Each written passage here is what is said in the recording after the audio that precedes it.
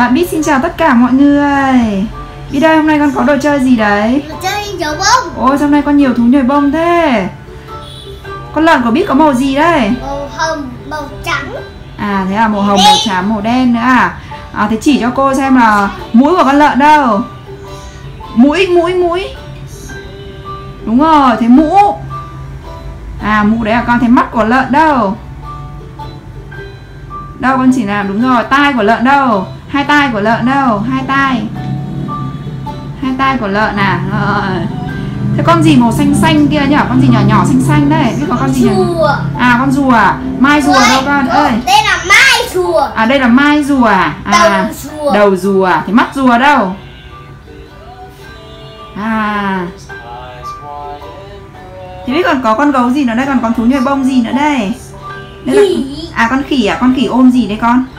Khỉ ôm trái tim À khỉ ôm trái tim à Ờ, con? Trên trái tim có ừm, Có chim trươn À thế à? Trên trái tim của kim cương à con? Và À thế này đang chắc chắn À đang phát sáng à? Hình như đang phát sáng đúng không? Đâu kim cương đâu con? Kim cương đâu? À đấy à, kim cương đấy à À đang chắc chắn đấy À, thế con thích con nào nhất?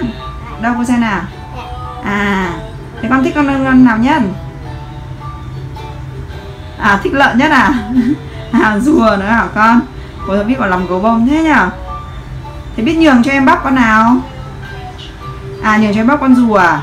Em bé, đâm ra là cho em con bé đúng không? Anh lớn thì anh chơi được con lớn Ui, Ôi nặng không con, nặng không con? không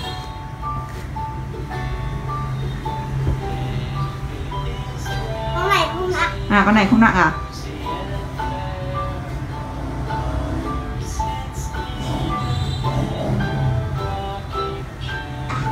Ôi bạn biết bê được cả ba con hả con? Đây, Bạn biết khỏe thế. Bạn biết thật là khỏe. Wow. Ôi bạn biết thật là siêu